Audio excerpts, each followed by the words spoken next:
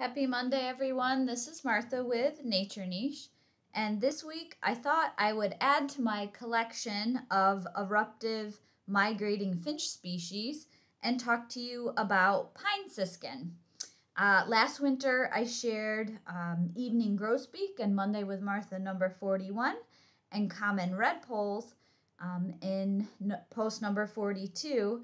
And uh, this year, I've been seeing a lot of pine siskins lately. Uh, they may monopolize your feeder um, one winter and then be absent in subsequent years. So this is the the first year I've really noticed them in numbers. They do range erratically across the continent each winter, and um, at least in part in response to food resources, things like uh, coniferous seed crops in the north. And per banding data, um, some fly from the west to the eastern part of the United States, while others move um, from the north uh, to the south. And in general, this species breeds in southern Alaska, across Canada, um, and in the northern US and the Rocky Mountains, it is a year round resident. Um, in Michigan, in our upper peninsula and the tip of the mitt of the lower peninsula, it can be a year round resident. Um, but in the lower two thirds of that lower peninsula, uh, usually it is only a winter visitor.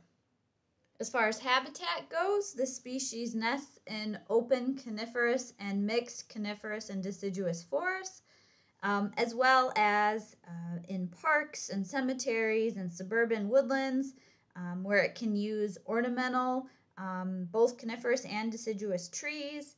Uh, they do prefer to forage among the branch tips of conifers, um, looking for the, the seeds of cones, um, but they will also use diverse habitats like deciduous woodlands, um, thickets, meadows, grasslands, old fields, roadsides, and uh, backyard gardens and lawns with feeders well stocked with uh, small seeds. And sometimes they can be attracted to mineral deposits like salt along our roadways as well. As far as identification goes, uh, males and females look similar and uh, you should look for a small, very streaky looking striped songbird um, with a sharp pointed little bill. Uh, their bills are about the half the size of most finch species, and they have a short notched tail. Um, I think they look like from a distance slightly brown, a little bit more drab um, than the goldfinches, but otherwise at a distance, without a zoom lens or your binoculars, they can look very similar to um, our American goldfinches. In flight, or when they're fluttering their wings and spreading their tails, you might notice um, some yellow patches um, on the wings and along the tail. Uh, they are very gregarious finches, and you'll often see them in tight flocks, uh, foraging. Um, and then you can also hear them. They have a kind of wheezing, uh, twittering sound. Uh, they talk to each other incessantly. Also known for a harsh, like watch winding call, or it's likened to slowly tearing um, a piece of paper. So I'll share a clip of them um, making these noises in my backyard a couple of days ago.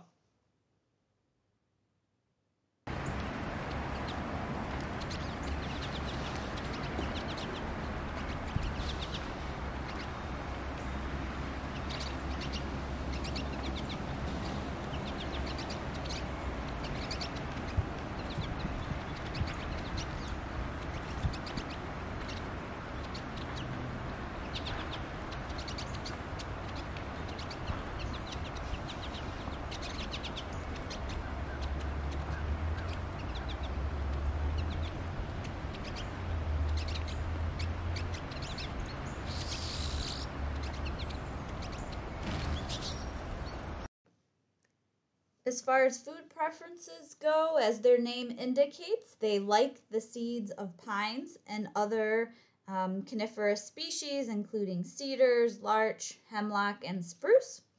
They will also eat the seeds of um, deciduous trees and shrubs like alder, birch, sweet gum, and maples.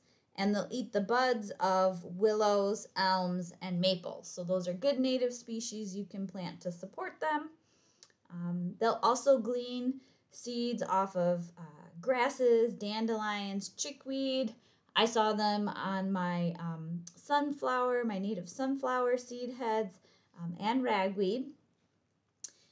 During the breeding season, they'll glean insects and spiders and grubs from branch tips and um, leaves high in the canopy. Um, and they can also occasionally grab insects right out of the air.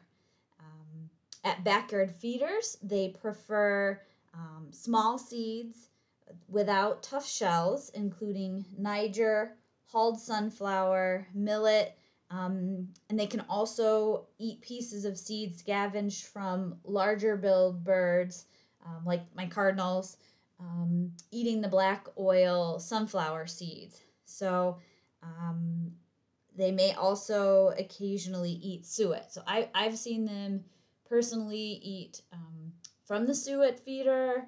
They really like the Finch favorite mix with sunflower hearts and Niger um, and some of the shell-free mixes with lots of sunflower hearts um, or chips and um, or mixes that have sunflower hearts and millet in them. I've seen them consume all of those things with uh, great vigor. And uh, they also seem to really like my heated bird bath. Any source of water in the winter um, is is welcome and they may also drink from sap wells drilled by sapsuckers. As far as nesting goes, they'll nest in loose colonies um, with neighbors just a few trees away. Um, they prefer mid height in conifers, uh, well concealed. And uh, the males, and I think mostly the female, um, builds the cup shaped nest um, out of twigs and grasses, leaves, stems, roots um, bark and lichen, and then line it with an inch to two and a half inches of fur feathers, um, moss, and thistledown. And uh, that's one of many adaptations they have to cold weather. Um, the female also stays on the nest to incubate full time, and the male um, brings her food.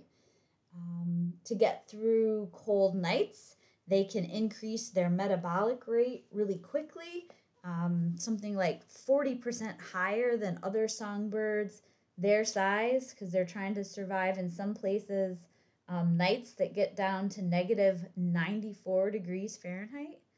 Um, they also put on half again as much fat as um, common redpolls or American goldfinches, birds um, similar in size. They can store up to 10% of their body mass in seeds in their um, crops, which is the, the bird equivalent of an esophagus. Um, and that can help get them through five to six nighttime hours with uh, sub zero temps. And um, thinking about their conservation, this is a fairly common species in steep decline. So it scores a 10 out of 20 on the Continental Concern score. Um, and, you know, their irruptive migrations make it difficult to estimate, um, but partners in flight estimate their populations have declined by 80% since uh, 1970. So, uh, part of that, like the adult birds or um, eggs and young, can be preyed upon by domestic cats um, also, naturally, by red squirrels, hawks, jays, and crows. Um, there may be some um, studies indicate local impacts from DDT and related pesticides, as well as cyanide used in gold mines. Um, because they're attracted to mineral deposits and salt, they may be more prone to like motor collisions along roadways um, and also suffering from loss of habitat from deforestation. Although it does seem that they'll use commercially planted coniferous forests and um, ornamental trees for nesting, so it's, it's hopeful maybe some of those habitats may support them in the future. Um, they do, um, because they live in dense flocks, they are prone to salmonellosis um, outbreaks, uh, especially at feeders. So make sure you watch um, Monday with Martha number 43, uh, where I discuss in detail what to look for with that um, bacterial infection in birds. Um, but basically, it can pass bird to bird or through fecal contamination of food and water. Uh, so, one of the things you can do as you see uh, more pine siskins around your feeders, just make sure um, that you are regularly cleaning your feeders and your bird baths. Um, anywhere fecal matter um, can accumulate. I decided to, to take down um, my tray feeders, um, anything that, yeah, was trapping um, a lot of bird feces and um, have emphasized my my tube feeders um, this winter since I'm seeing a lot more of the pine siskins. Um, and certainly, if you see um, birds that you suspect are sick with um, salmonellosis, you'll you'll want to uh, remove your feeders, disinfect them. You may need to keep them down one to two weeks to help disperse the birds in your area. Um, and then again, it's always great consider planting and conserving uh, native tree and shrub species or other native plants to help provide natural food sources um, spread out across the landscape for these um, flocks of uh, gregarious pine siskins. But I hope you get to enjoy them this winter too, and have a good week.